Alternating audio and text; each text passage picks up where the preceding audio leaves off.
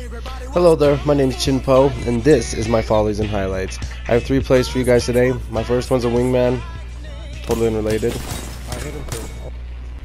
The second clip is a folly because you'll watch as I mess up this whole play. I go ahead and I pick the door to the left, but I see one dude on it and there's two of us. We should have just fought him, but no, we didn't. My teammate proceeded to go run and loot somewhere else, and I just proceeded to chase him and watch him get a purple and an L-STAR. Turns on said teammate, and then right here. Right here, you guys watch me dance with the freaking alternator. If I could have just scooped it the first time, I don't think I had any ammo, but I could have at least turned. It does like 200 damage per clip. We would have done something, but nope. I went and got myself in another pickle, making it 3v1, 2v1. I just saw the two, but the third must have been somewhere causing shit somewhere else. I've had better plays. Like this next one. This next one's a way better play. Makes me a lot happier.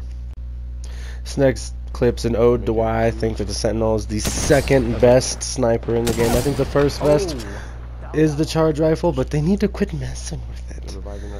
The Sentinel is nasty. You see how we had that whole squad pinned in that tiny, tight little corner?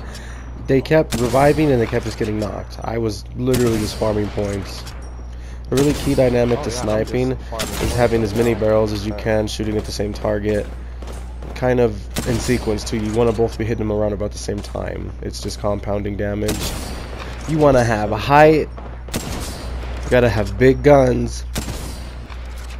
And plenty, plenty of heals. That's just key for sniping. Sniping is all about long range suppression and advancing if you need to, but just like here you can see we're tracing them all through the valley. They they can't push us. We have our eyes on the stairs, the only way they can see. It's not like they have a legend that can get up to us really fast, so they're they're gonna have to push right down in front of us, right up to us, or right below us. We're just trying to get them huddled somewhere. They went to the house because well that's that's where zone's at. We didn't really do enough damage to uh, to push the squad, and we didn't know where the third squad was until right now, and it, it was a Gibby with a Kraber, so range kind of became out of the option. He greased us a few times, and so we decided to just poke at him and wait for him to push.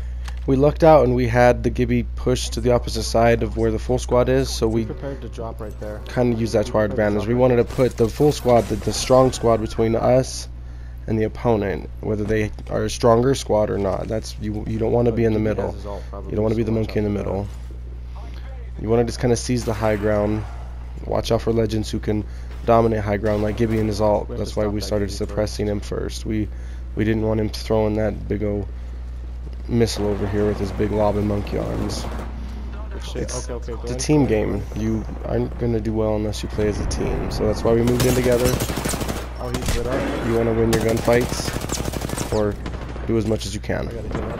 I gotta get up. In close quarters, you want to stay as close as you can Good to your shit. teammate. Don't get separated. Don't have somebody come between you. On top you, on top you. If you do, you want to have comms, letting them know exactly where they're at. He's my teammate knows exactly where she's at. He did as much as he could, but she rushed me and she she she kind of greased me pretty hard.